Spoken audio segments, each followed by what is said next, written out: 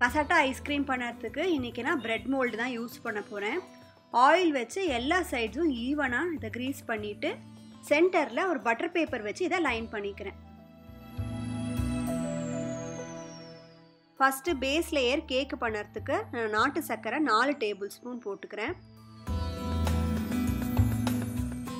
ரெண்டு table spoon oil இல்லாட்டி melted butter use பண்ணிக்கலாம். நான் இன்னைக்கு ஸ்பூன் மெல்டட் பட்டர் தான் போட்டிருக்கேன்.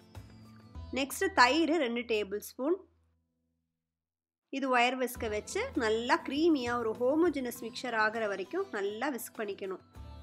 இப்போ ஒரு சல்லடையை வச்சு இதில் அரை கப்பு கோதுமை மாவு baking powder half teaspoon baking soda one fourth teaspoon one pinch salt இது எல்லாத்தையும் போட்டு சளிச்சுக்கிறேன்.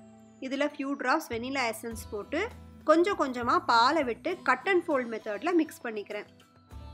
இந்த மாதிரி ரிப்பன் கன்சிஸ்டன்சி வந்ததுக்கப்புறமா இந்த பேட்டரை அந்த பிரெட் மோல்டில் ட்ரான்ஸ்ஃபர் பண்ணிவிட்டு அந்த பேட்டர் வந்து அந்த மோல்டோட ஓரங்கள் ஃபுல்லாக கவர் ஆகிற வரைக்கும் அதை நல்லா டில்ட் பண்ணிக்கிறேன். இப்போது ஏர் பபிள்ஸ் வந்து எஸ்கேப் ஆகிறதுக்கு அதை ரெண்டு வாட்டி இந்த மாதிரி டேப் பண்ணிவிட்டு ஒரு ப்ரீ ஹீட்டட் அவனில் ஒன் எயிட்டி டிகிரி செல்சியஸுக்கு ஃபிஃப்டீன் மினிட்ஸுக்கு இந்த கேக்கை பேக் பண்ணிக்கிறேன். இப்போ பதினஞ்சு நிமிஷத்துக்கு அப்புறமா ஒரு டூத் பிக்கை வச்சு இதை செக் பண்ணி பார்க்குறேன். இப்போ டூத்பிக் வந்து நல்லா க்ளீனாக வந்திருக்கு. கேக் இப்போ ரெடி ஆயிடுது இப்போ மோல்டுலேருந்து அந்த கேக்கை ரிமூவ் பண்ணிவிட்டு நான் கேக்கை நல்லா ஆற விட்டுக்கிறேன். மோல்டையும் நல்லா வாஷ் பண்ணிக்கிறேன். ஒரு பிளாஸ்டிக் கவரில் இந்த மோல்டை நல்லா கவர் பண்ணிவிட்டு ஒரு ரப்பர் பேண்டை வச்சு இதை செக்யூர் பண்ணிக்கிறேன். இந்த மாதிரி பிளாஸ்டிக் ரப் போட்டு வச்சாதான் நமக்கு ஐஸ்கிரீம் டிமோல் பண்ணுறதுக்கு ரொம்ப ஈஸியாக இருக்கும். கேக்கு நல்லா ஆறினதுக்கப்புறமா இந்த மோல்டில் இதில் வச்சு இப்போ மோல்டையும் நான் ஃபுல்லாக கவர் பண்ணிக்கிறேன். இதை நல்லா கவர் பண்ணிவிட்டு ஒரு டூ ஹவர்ஸுக்கு இதை டீப் ஃப்ரீஸ் பண்ணிக்கிறேன். இப்போ டாப் லேயர் ஐஸ்கிரீம் பண்ணுறதுக்கு நான் ஃப்ரெஷ் க்ரீம் டூ ஃபிஃப்டி எம்எல்ல ரெண்டு பேக்கெட் எடுத்துட்டுருக்கேன். ஒரு பீட்டரை வச்சு இது நல்லா ஃபோமி ஆகிற வரைக்கும் பீட் பண்ணிக்கணும்.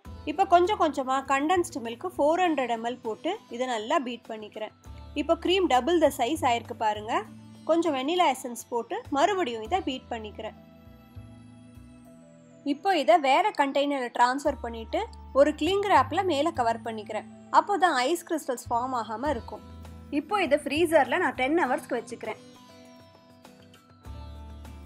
இப்போ ஃபஸ்ட்டு லேயர் மேங்கோ ஐஸ்கிரீம் பண்ணுறதுக்கு ஒரு கிண்ணத்தில் ஒரு டேபிள் ஸ்பூன் சூடான பாலை போட்டு அதில் குங்குமப்பூ ரெண்டு பிஞ்சு போட்டுக்கிறேன். பால் இப்போ நல்லா கலர் மாற ஆரம்பிச்சிருக்கு.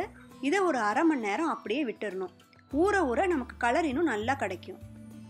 ஒரு மிக்சி ஜாரில் ஒரு மாம்பழத்தோட தோலியை சீவி கொட்டையும் எடுத்துட்டு பல்பை மட்டும் சேர்த்துக்கிறேன். இப்போ மாம்பழத்தில் ஸ்வீட் கொஞ்சம் கம்மியாக இருக்குது அதனால் இதில் சர்க்கரை மூணு டேபிள் ஸ்பூன் போட்டுக்கிறேன். இப்போ கலருக்காக ஊற வச்ச இந்த குங்குமப்பூ பாலை இதில் சேர்த்துக்கிறேன். ரெடி பண்ண ஐஸ்கிரீம்லேருந்து மூணு ஸ்கூப்பை போட்டு மிக்சியில் அரைச்சிக்கிறேன்.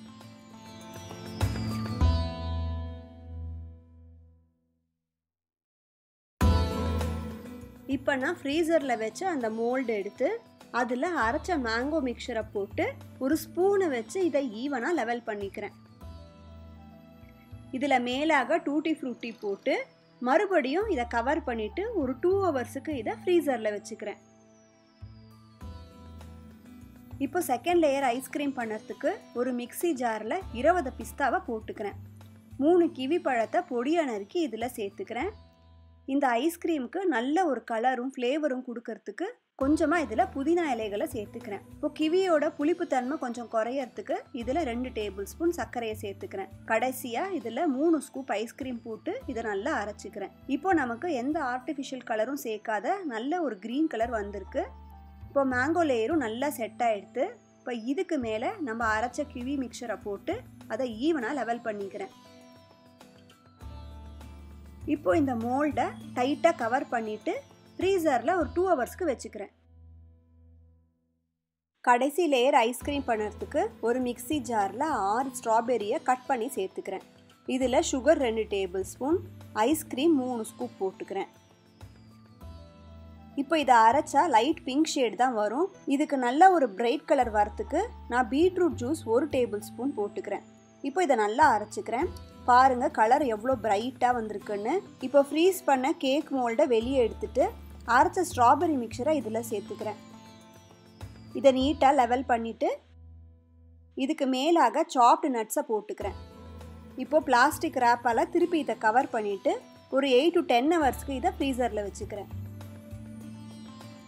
இப்போ எயிட் ஹவர்ஸ்க்கு அப்புறமா இந்த கசாட்டா ஐஸ்கிரீமை எடுத்து பார்க்கலாம். ஐஸ்கிரீம் நல்லா செட் ஆகிருக்கு ஐஸ்கிரீமை வந்து டீமோல் பண்ணிக்கிறேன். இந்த மோல்டில் பிளாஸ்டிக் கவர் போட்டதால் நமக்கு ஈஸியாக டீமோல் பண்ண முடியுது. இப்போ பிளாஸ்டிக் கவரை ரிமூவ் பண்ணிவிட்டு சின்ன சின்ன பீசஸாக நம்ம போட்டு இமீடியட்டாக நம்ம சர்வ் பண்ணிக்கலாம். இப்போ எந்த ஆர்டிஃபிஷியல் கலர்ஸும் இல்லாமல் நேச்சுரல் கலர்ஸ்லேயே வச்சு நம்ம இந்த கசாட்டா ஐஸ்கிரீம் வந்து ரொம்ப சிம்பிளாக ஈஸியாக வீட்லேயே பண்ணியிருக்கோம். இதை ட்ரை பண்ணிவிட்டு உங்கள் கமெண்ட்ஸ் எனக்கு சொல்லுங்கள் தேங்க்யூ